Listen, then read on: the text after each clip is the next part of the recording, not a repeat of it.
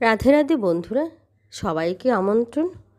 আমার চ্যানেল রাধারানীর ঘর। বন্ধুরা, আশা করি সবাই ভালো আছেন, আমিও ভালো আছি। বন্ধুরা এখনও যারা আমার চ্যানেলটি সাবস্ক্রাইব করেননি, প্লিজ আমার চ্যানেলটি সাবস্ক্রাইব করে দেবেন এবং বেশি বেশি করে শেয়ার করবেন। এবং পাশে থাকা যে বেলাইকনটি আছে, ওটাকে প্রেস করে দেবেন, তাহলে আমি যে ভিডিওটা ছাড়বো, প্রথমেই আপনাদের কাছে পৌঁছে যাবে।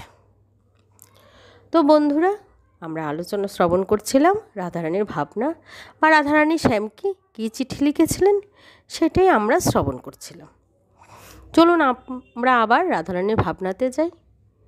তারপরে সঙ্গে আবার আমরা শ্যাম কি ভাবছে তা নিয়েও আমরা শ্রবণ করব। বধূ, তোমারও গরবে গরবিনী হাম রূপসী তোমারও রূপে হেন মনে লয় ও দুটি চরণ সদা নিয়ে থাকি বুকে আনেরও আছয়ে অনেক জনা আমারও কেবলই তুমি। আমারও পরাণ হইতে শত শত গুণী প্রিয়তম করে মানি জানো সুন্দর সব কিছুতেই তোমাকে দেখি, অথচ তোমাকে কখনো কোথাও দেখিনি। আমার ভিতরে বাহিরে অন্তরে অন্তরে আছো তুমি হৃদয় জুড়ে, চিরদিন তুমি থেকো এমনি করে। তোমারই রাধে। কৃষ্ণ দর্শনে শ্রী রাধার হৃদয় উথলে উঠেছে। যে তরঙ্গটা গর্জে উঠেছে তা দেখেছেন তো? রাধার মনের কথা শুনলাম। কৃষ্ণ দর্শনে রাধার প্রাণ জেগেছে দেখলাম। রাধা দর্শনে কৃষ্ণের মনের কি কোনো বিক্রিয়া ঘটেছে? কি কোনো আলোড়ন সৃষ্টি হয়নি? চলুন, সুবলের কাছে যাই। সে কি বলে শুনি? সুবল। কৃষ্ণের ভাবান্তর দেখে জিজ্ঞেস করল, ভাই কানাই, হঠাৎ কি হলো তোমার? তেমন করে আর বাঁশি বাজাও না, হাসো না। মুখটাই বা মলিন কেন? কি হয়েছে তোমার?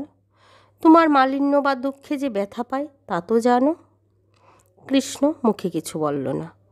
প্রাণ নিংড়ানো একটা দীর্ঘ নিঃশ্বাস ফেলল। সুবল বুঝতে পারল, কৃষ্ণ হৃদয় আক্রান্ত। ব্যথায় ভারাক্রান্ত। সুবল কোনো প্রশ্ন করে বন্ধুকে বিব্রত করতে চাইল না। শুধু বলল, বন্ধুর সঙ্গে মন খুলে কথা বললে মনটা কিন্তু হালকা হয় ভাই। বল না প্রাণ খুলে, কিসের ব্যথা তোমার অন্তরে? কে দিয়েছে ব্যথা? এতদিন বলি বলি করে বলা হয়নি। এমনিতেই তোমাকে আজ বলতাম। সুবল, তুমি আমার প্রাণের সখা। তোমাকে বলব না তো বলব কাকে? ব্যথাটা কোথায় জানতে চেয়েছো? শুনলে হয়তো অবাক হবে। ব্যথাটা চোখে বলল কৃষ্ণ চোখে? বিস্মিত হল সুবল। হ্যাঁ চোখে। তোমার চোখে কিছু পড়েছিল? জিজ্ঞেস করল সুবল। হ্যাঁ কি পড়েছিল? একটা প্রণয়মুগ্ধ দৃষ্টি। সুবল বলল, তুমি কি যে বলছো, আমি তো কিছুই বুঝতে পারছি না। বুঝবে কি করে ভাই? পড়েছে আমার চোখে। কি করে তুমি বুঝবে? গম্ভীরভাবে বলল কৃষ্ণ। এখন তোমার কি অবস্থা? জিজ্ঞেস করল সুবল। মারাত্মক। মারাত্মক? হ্যাঁ সুবল, সত্যি মারাত্মক। মারাত্মক বলে মারাত্মক। ও চোখে আর কিছুই দেখতে পাচ্ছে না। যার দৃষ্টি পড়েছিল, শুধু তাকেই দেখি। সুবল একটু হেসে বলল হ্যালিনা করে বলো না ভাই, কার দৃষ্টি পড়েছিল? কে সে? চেন তাকে? কোথায় থাকে সে? দেখতে কেমন সে? এত প্রশ্নের উত্তর একসঙ্গে কেমন করে দিই, সুবল? একটু ধৈর্য ধরো আর শুনতে থাকো।